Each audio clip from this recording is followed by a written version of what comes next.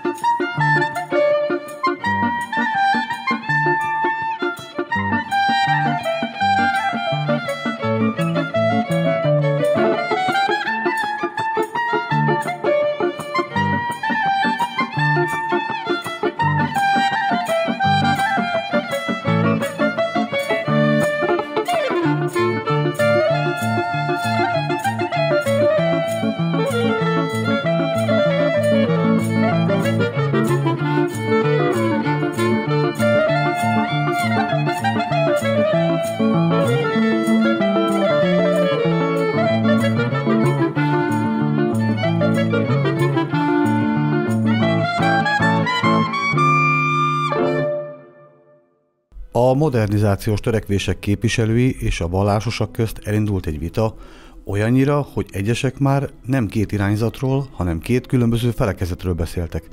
A kiegyezés után a parlament elfogadta az emancipációs törvényt. Báró Ötvös József kultuszminiszter a zsidók mellé állt. Célja egy autonóm zsidó szervezet létrehozása volt.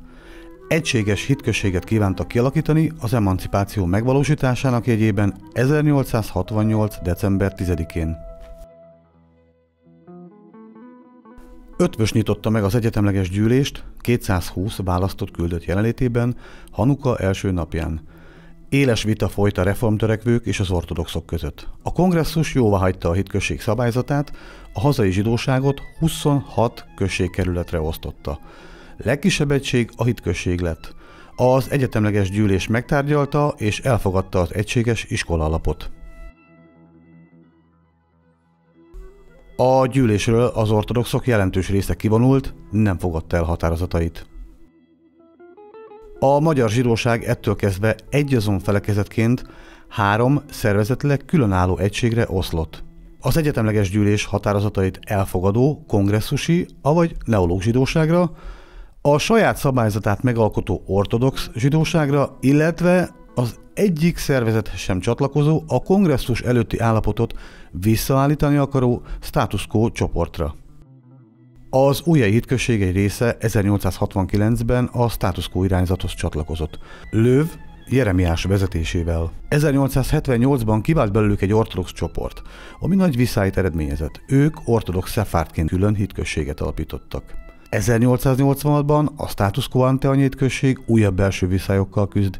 Kiválik Lőv Lázár rabbi vezetésével egy újabb csoport, és ortodox hitközségként immár a harmadik közösségként megalakulnak. Thank you